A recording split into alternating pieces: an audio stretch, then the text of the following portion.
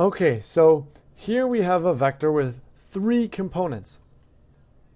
And now we can think of these as the x component and the y component, just like before. And now we're adding in the z component.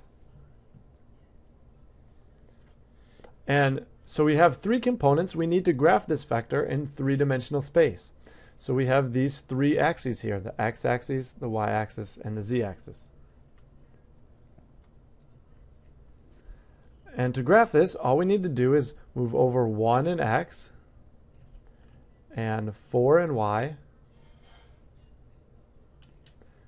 So that takes us to about this point. And I'm going to draw a line from the origin to that point where we've moved to. So this is 1 in x, 4 in y. And then we just need to move up 3 in the z direction. And that will take us to our vector. So our vector moves 1 in x, 4 in y, and 3 in z. And there it is right there. Now to help with a, with a sense of depth, I find it helpful to dash these lines here.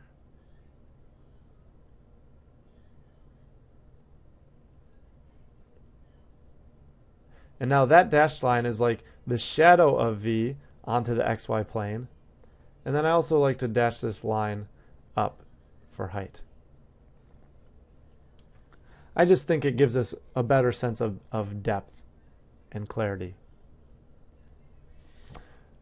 Okay, and that's it. There's really nothing more to graphing vectors in three dimensions. I don't think you'll you'll be asked to do that very often. But vectors with two uh, sorry with three components behave exactly the same as vectors with three components.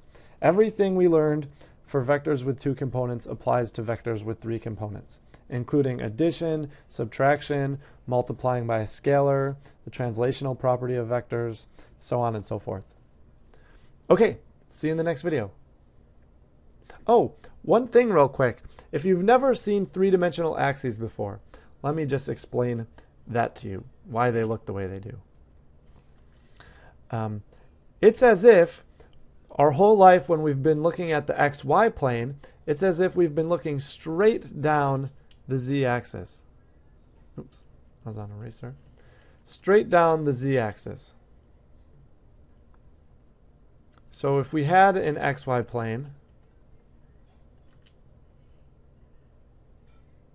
here's x and y, z would be at the origin coming out straight at us. And because it's coming out straight at us, we really, we can't see it. If it were at even a slight angle, we would see it like this. This would be z coming out at us. And that's exactly what we have here.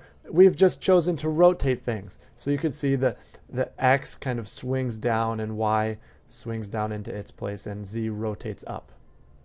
So things are rotated, but it's really, uh, it's, it, it, it should seem familiar in that sense once you realize what's going on. Okay, anyways, I hope that was helpful. I'll see you in the next video.